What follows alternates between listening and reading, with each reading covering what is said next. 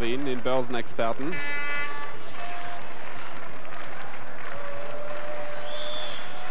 Freistoß durch den Kapitän Piotr Jegor. Das könnte gefährlich werden und der Ball ist im Netz.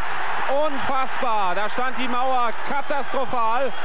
Und ich hatte es mehrfach angekündigt, dass dieser Mann über einen guten Schuss verfügt. Und das ist jetzt natürlich wirklich Fußballparadox. Jubel in der Ostkurve, Jubel bei den Anhängern von Gornik Sapsche.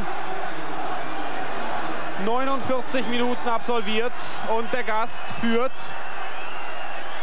Ja, Jan Fotok war es, der da sich aus der Mauer löste und überhaupt den Winkelpreis gab ins kurze Eck und er hatte keine Chance.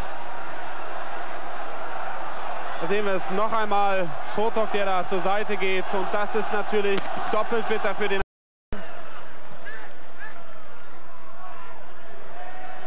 Waluschinski, ein ständiger Gefahrenherd. Der Einmannsturm der Polen.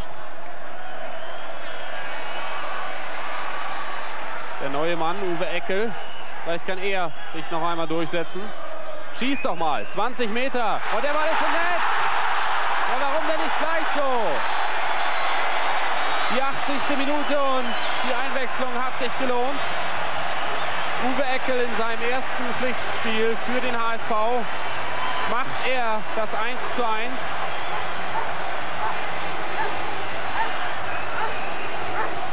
Das hätte der HSV viel früher machen sollen. Schüsse aus der Distanz. Das waren gute 20 Meter.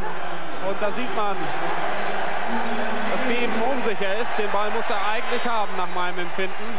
Nicht besonders platziert in die Ecke geschossen. Im HSV und diesem Mann mit der Nummer 14, Uwe Eckel, wird es recht sein. 1 zu 1.